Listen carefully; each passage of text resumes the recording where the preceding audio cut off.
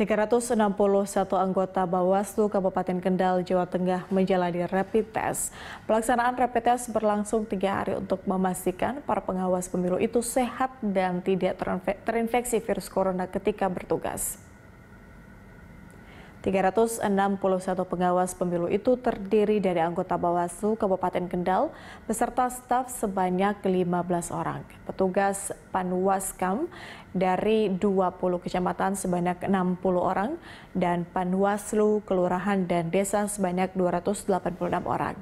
Rapid test dilakukan selama tiga hari di kantor Bawaslu, Bawaslu Kendal dan dilaksanakan bergiliran, diatur berdasarkan wilayah per kecamatan untuk menghindari adanya kerumunan. Ketua Bawaslu Kendal, Odilia Ami Wardayani mengatakan rapid test dilakukan untuk memastikan petugas pengawas pemilu di Kabupaten Kendal sehat dan tidak terinfeksi COVID-19. Hasilnya akan dilaporkan ke tim gugus tugas COVID-19 Kabupaten Kendal jika ditemukan adanya anggota yang reaktif.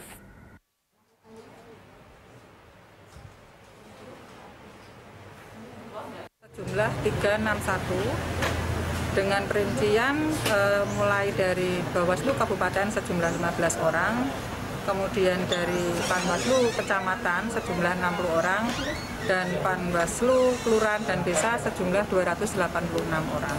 Dengan adanya rapid test ini, kami berharap uh, untuk jajaran pengawas kami uh, dalam menjalankan tugas ini mengikuti uh, pencegahan untuk uh, penyebaran virus COVID-19 ini.